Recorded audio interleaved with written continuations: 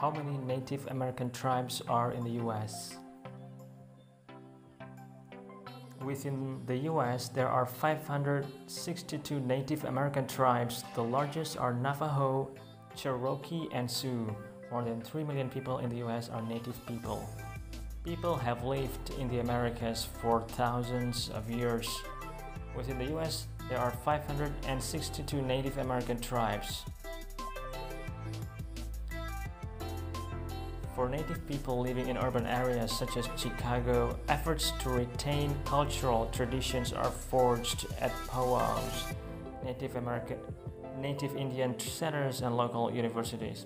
The Mitchell Museum of the American Indian in Evanston fosters awareness of Native cultures through its extensive collections and events. Laura McDowell exhibition developer and collections manager describes her favorite exhibit of beaded shoes, traditional handcrafted moccasins, and a modern hand-decorated cat's version.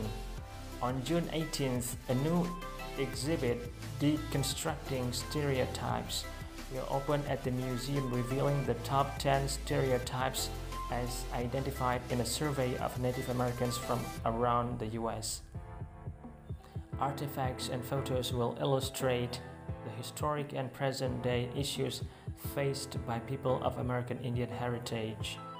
Every Thursday from 5.30 to 7.30 p.m., a Native American flute circle performs at the museum. Participants are welcomed. On Saturdays, museum visitors can create native-themed crafts. For admission times, directions, and upcoming events, see the museum website at www.mitchellmuseum.org. Free admission is available to library card holders. The Mitchell Museum Art of the American Indian is one of the 17 arts and cultural organizations participating in the Museum Adventure Pass presented by Macy's.